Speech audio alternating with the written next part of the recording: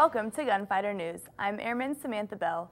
In the news, Idaho's Lieutenant Governor and Twin Falls Mayor receive orientation flights in the F-15E Strike Eagle. Mountain Home Air Force Base hosts its annual Operation Warm Heart softball tournament, and F-22 Raptors arrive on base for Operation Global Gem. Lieutenant Governor Brad Little and Twin Falls Mayor Don Hall each received an orientation flight with the 389th Fighter Squadron as part of the 366 Fighter Wings Community Relations Program.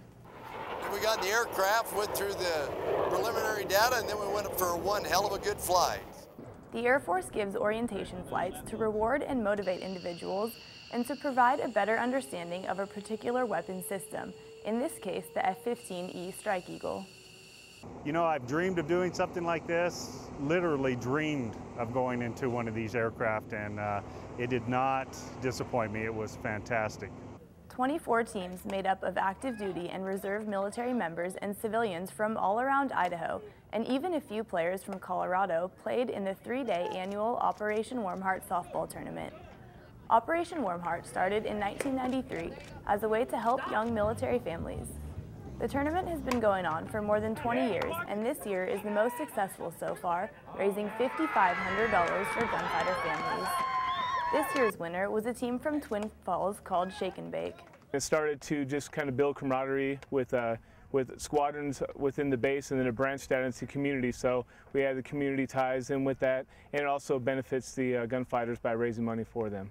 F-22 Raptors from the 43rd Fighter Squadron at Tyndall Air Force Base in Florida are at Mountain Home until September 2nd in support of the Air Force's first Operation Global GEM Joint Multi-Service Training. This is their first deployment to a base that isn't home to the F-22 Raptors. Some of the reasons they chose Mountain Home are the size of our airspace, climate, and the mountainous terrain which is very similar to areas they might deploy to. Also coming up, the grand reopening of the dining facility is September 1st, so airmen in the dorms will no longer receive BAS or be able to use VIP dining cards. We would like to thank KBOI CBS Channel 2 for donating their studio to make it possible for us to bring you Gunfighter News. And that's all from the Gunfighter News Desk. I'm Airman Samantha Bell. Thanks for tuning in and have a great day.